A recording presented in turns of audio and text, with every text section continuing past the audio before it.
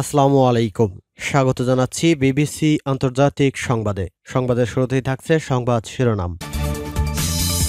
ইউক্রেনে একশো ষাট জন জেনারেল সহ এক হাজার পাঁচশো সামরিক কর্মকর্তা হারিয়েছে রাশিয়া ইন্ডিপেন্ডেন্টের রিপোর্ট। এরপর জানিয়ে দেব পিকেকে সন্ত্রাসীদের ধ্বংস করতে অঙ্গীকারবদ্ধ তুরস্ক, বলছে এরদোগান। পশ্চিম তীরে ফিলিস্তিনিদের জন্য রক্তক্ষয়ী দিন, ইসরায়েলি হামলায় চারজন শহীদ। এরপর জানিয়ে দেব স্যাটেলাইট ফোন বহনের দায়ে ভারতের বিমানবন্দরে রাশিয়ার সাবেক মন্ত্রী আটক। এবং সর্বশেষ জানিয়ে দেব চেচেন সেনাদের নিয়ে যে মন্তব্য করলেন প্রফ ফ্রান্সিস। শুনছিলেন সংবাদ শিরোনাম, এখন বিস্তারিত। তবে তার এখন অনুরোধ থাকবে, ভিডিওটিতে একটি লাইক এবং কমেন্টস করে জানিয়ে দিন, আজকের এই ভিডিও সম্পর্কে আপনার মূল্যবান মতামত।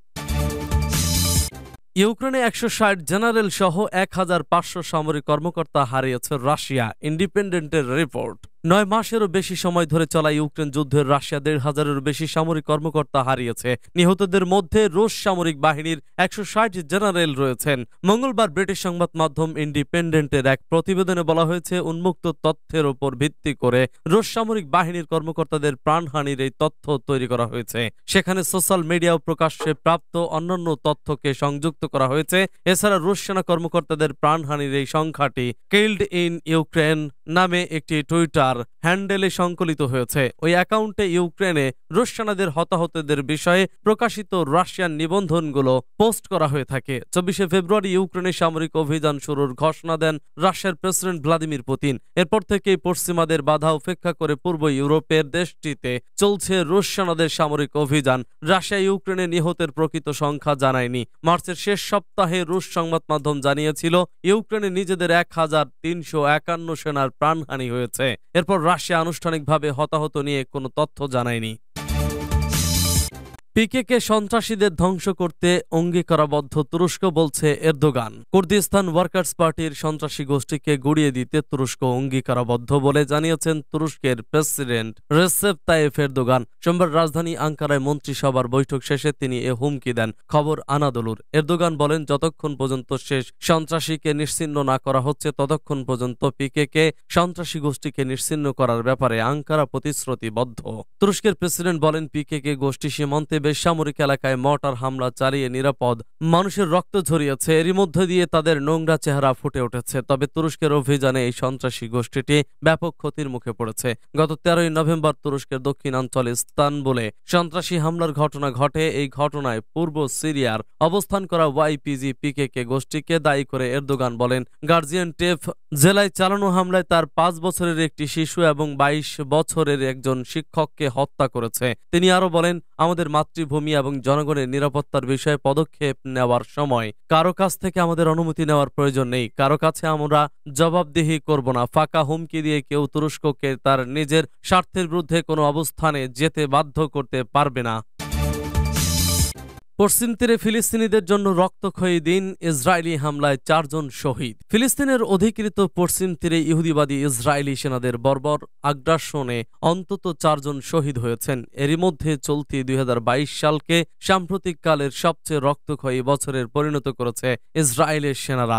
আজ শহীদ হওয়া চার ফিলিস্তিনির মধ্যে দুইজন আপন ভাই রয়েছেন। ফিলিস্তিনের স্বাস্থ্য মন্ত্রণালয় জানিয়েছে, আজ সকালের দিকে রামাল্লাহ শহরের কাছে একটি গ্রামে হামলা চালায় ইসরায়েলিরা। এ সময় জাওয়াদ এবং সাফের আব্দুর রহমান রেমাউই নামে দুই সহোদর ইহুদিবাদীদের গুলিতে শহীদ হন। শহীদ জাওয়াদ সম্প্রতি বীর জঈদ বিশ্ববিদ্যালয় থেকে বিজনেস অ্যাডমিনিস্ট্রেশন গ্রাজুয়েট সম্পন্ন করেছেন এবং তার ছোট ভাই সাফের একই বিশ্ববিদ্যালয়ের টেকনোলজি ডিপার্টমেন্টের চতুর্থ বর্ষের ছাত্র। জাওয়াদের পিঠের নিচের অংশ এবং সাফেরের মাথায় গুলি লাগে। এদিকে পশ্চিম তীরের রামাল্লা শহরের কাছে আজ সকালে ইহুদিদের ওপর গাড়ি চাপা দেওয়ার কথিত অভিযোগে আরেক ফিলিস্তিনিকে গুলি করে হত্যা করে বর্বর ইহুদিবাদী সেনারা। এর কয়েক ঘণ্টা আগে পশ্চিম তীরের আল খলিল শহরের কাছে বেইত ওমার টাউন ইসরায়েলি সেনাদের সঙ্গে সংঘর্ষে মুফিদ মোহাম্মদ ইখলি শহীদ হন। চল্লিশ বছর বয়সী এ ফিলিস্তিনির মাথায় গুলি করা হয়েছে।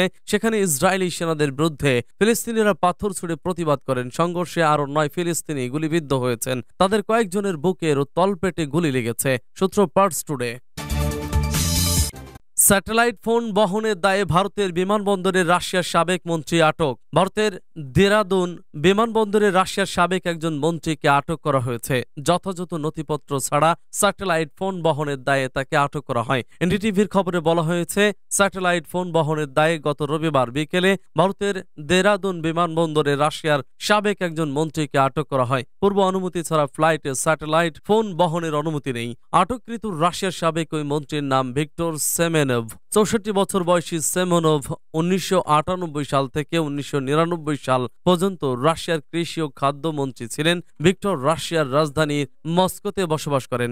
আটকের দিন দেরাদুন থেকে ইন্ডোগোর একটি ফ্লাইটে দিল্লি যাওয়ার কথা ছিল তার। পুলিশের এফআইআর অনুসারে সাবেক এই রুশ মন্ত্রী জানিয়েছেন, জরুরি সময়ে ব্যক্তিগতভাবে ব্যবহারের জন্য স্যাটেলাইট ফোনটি বহন করেছিলেন তিনি। তবে শেষ পর্যন্ত রুশ মন্ত্রীকে ছেড়ে দেওয়া হয়েছে কিংবা আটক রাখা হয়েছে কিনা খবরে সেটা জানানো হয়নি।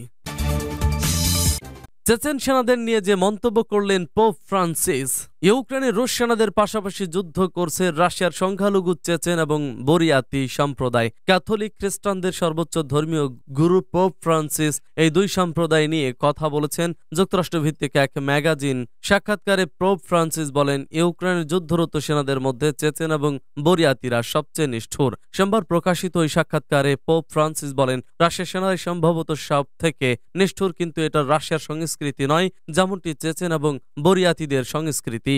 রাশিয়ার নিগ্রোষ্ঠী চেচেনরা দক্ষিণ রাশিয়ার চেসনিয়ায় বসবাস করে ইউক্রেন যুদ্ধে চেচেন নেতা রমজান কাধিরভ ব্যাপক সমর্থন দিচ্ছেন। যুদ্ধে নিজের দুই ছেলেকে পাঠানোর ঘোষণাও দিয়েছেন তিনি। অন্যদিকে বরিয়াতি নিগ্রোষ্ঠীরা পূর্ব সাইবেরিয়া অঞ্চলে বসবাস করে। এই অঞ্চলের সঙ্গে মঙ্গোলিয়ার সীমান্ত রয়েছে। ইউক্রেন যুদ্ধ শুরুর পর থেকে পোপ ফ্রান্সিস একাধিকবার যুদ্ধ বন্ধের আহ্বান জানিয়েছেন, সূত্র সিএনএন।